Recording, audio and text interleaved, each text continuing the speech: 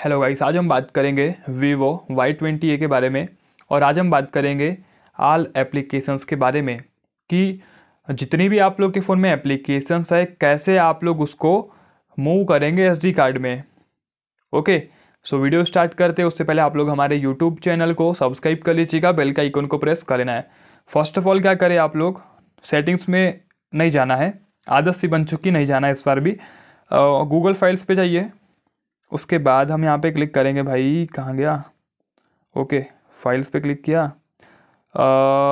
Audio पे audio पे नहीं क्लिक करना है हमें माफ़ करना। ऐप्स पे क्लिक कर दिया। ओके तो जितनी भी हमारे फ़ोन में एप्लीकेशंस है इंस्टॉल ऐप्स हो या फिर ए के हो सब शो कर रहा है यहाँ पे। ठीक है ना?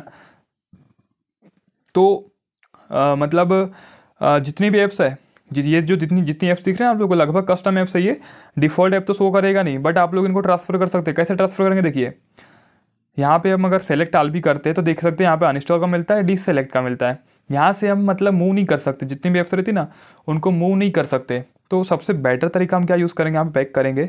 और इंटरनल स्टोरेज पे क्लिक करेंगे थ्री डॉट पे क्लिक करेंगे सेलेक्ट आल करेंगे यहाँ से थ्री डॉट पे क्लिक करेंगे। हम यहाँ से करेंगे मूव टू मूव टू पे क्लिक करेंगे। यहाँ पे हम करेंगे इसको select S D card okay तो देखिए, थोड़ा सा यहाँ पे क्या कॉम्प्रोमाइज़ करना पड़ता है एडजस्ट करना पड़ता है कि भाई देखिए एप्लीकेशन के साथ साथ ना पूरा का पूरा डाटा ही आप लोग को ट्रांसफ़र करना पड़ेगा।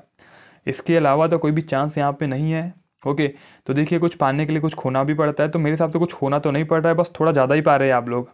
एप्लीकेशन पाना था एस में बट पूरा का पूरा डाटा ही पा रहे ओके ओके तो थोड़ा सा फ़न हो गया हो गया तो जब भी आप लोग को एप्लीकेशन को मूव करना रहेगा एस कार्ड में, ये तरीका बेस्ट है ओके सो मिलते हैं नेक्स्ट वीडियो में. जय माता दी.